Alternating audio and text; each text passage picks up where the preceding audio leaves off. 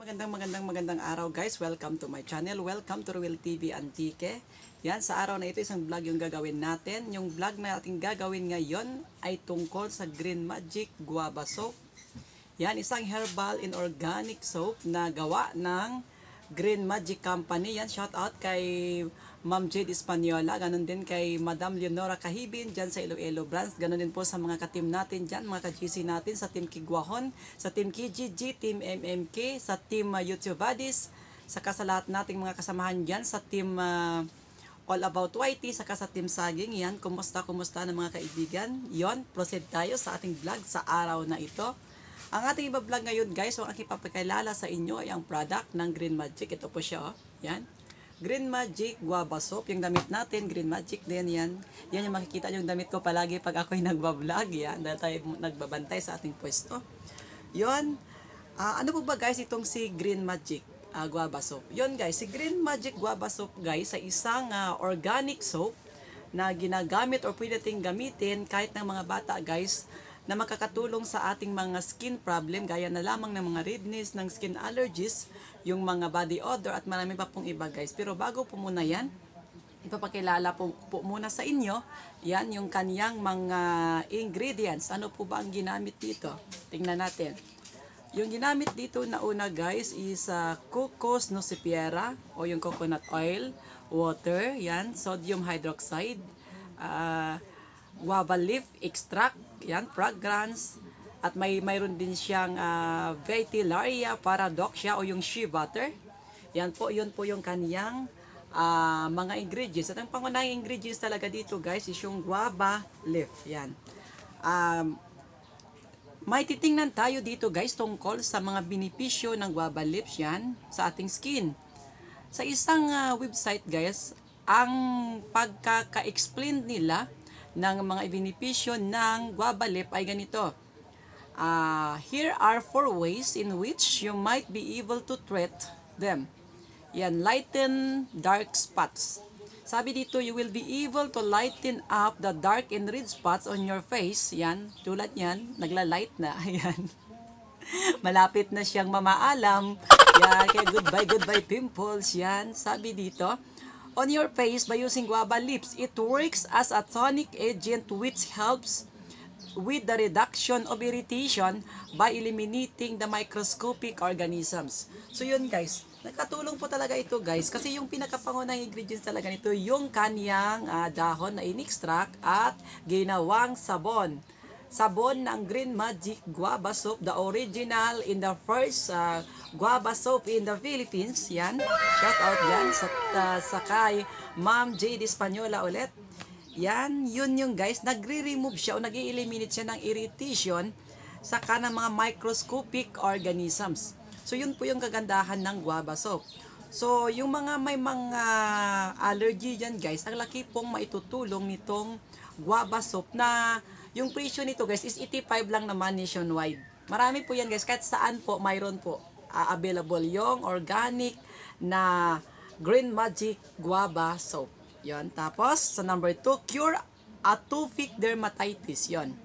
Guava leaves can help re- reduce and uh, reduce the redness in the irritation that was caused by atopic dermatitis. These leaves also have ability to prevent the formation of histamines, yan, histamines, ang tawag dito sa yun, such as chemicals that causes the itching, sneezing, and swelling, which are allergy symptoms. So, ibig pala sabihin, guys, katulong din talaga siya mag-treat ng mga allergy. Kasi guys, ah personally guys, ah, ilang beses na din ako kasi guys, ah, inatake ng allergy. At ito po yung ginagamit kong sabon. So, napakabisa po niya talaga guys. Pati yan guys sa may mga ano diyan sa mga may mga bomba diyan sa inyong kilikili. Yan gumamit na ng guava soap at siguradong titigil ang pag-aalboroto ng volkang ah, volkang kilikili.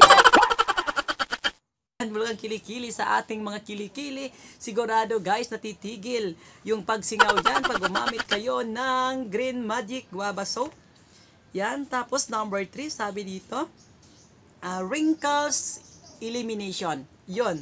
Yung guava guys, yung guava lips na ginamit dito sa guava soap ay makakatulong sa wrinkles elimination. Sabi dito, according to some research, the guava leaves are far more beneficial than the fruit itself. So mas marami yung benepisyo ng guava, ah, yung dahon niya kaysa pala dun sa kanyang ah, bunga mismo. They contain anti-cancer properties which destroy the free radicals in the body. So nagdi-destroy pala siya guys ng mga free radicals sa ating mga katawan. So yan, they also contain anti-strong wrinkle tool which enhances the overall quality of the skin. So nag-enhance talaga siya guys yung kaniyang guava leaves na ginamit at pangunahing ingredients ng ating product na yan, guava, guava, guava, guava soap. Yan, number 4, acne treatment.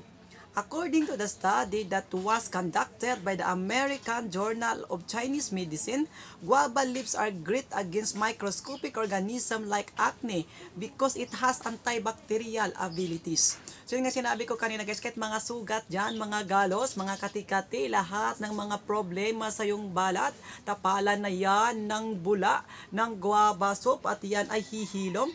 Tested and proven na yan guys, tested and proven.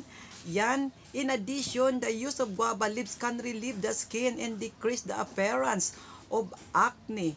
So yun guys, nakaka-decrease siya ng appearance of acne. So yung kagandahan guys, kasi ito, kaya na sinabi ko kanina kahit may mga balakubak dyan guys, pwede nyo siyang gawing shampoo. Yun lang yung ating advantage dito sa mga herbal products like uh, Green Magic Guava Soap. Kasi guys, gawin, pwede mo siyang gawing ah, shampoo kasi guys, nakakatulong din talaga siya na matanggal yung ating mga balakubak. Kaya sa may mga balakubak yun, sa may mga skin problem, subukan nyo na guys. 100% guaranteed po. Hindi po kawalan yung 85 ninyo. Yan, baka sabihin nyo, nabibili na kayo sa akin. Hindi lang po kayo sa akin pwedeng bumili nito guys. Kahit saang parte ng Pilipinas, marami po.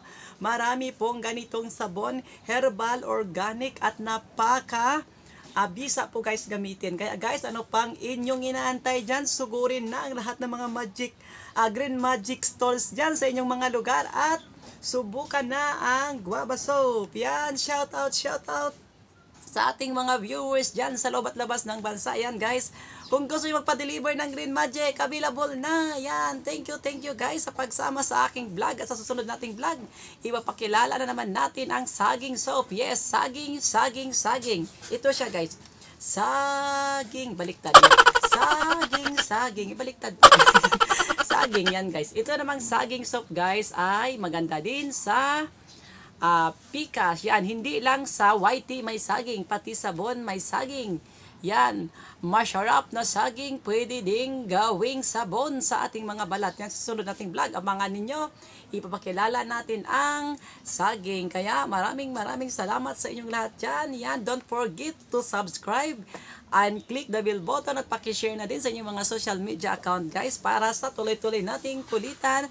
At yan, yung ating live streaming palagi ay 6pm Pinas time hanggang alas 8. Yan, Samahan niyo po ako at maraming maraming salamat ulit. Para yan, thank you, thank you guys. Yan sa mga kasamahan natin dyan sa YT. Thank you din sa inyo. Yan, uh, magpapaalam na po tayo at maraming maraming salamat ulit sa inyong panonood. Thank you, thank you po. Bye-bye and God bless. Mwah.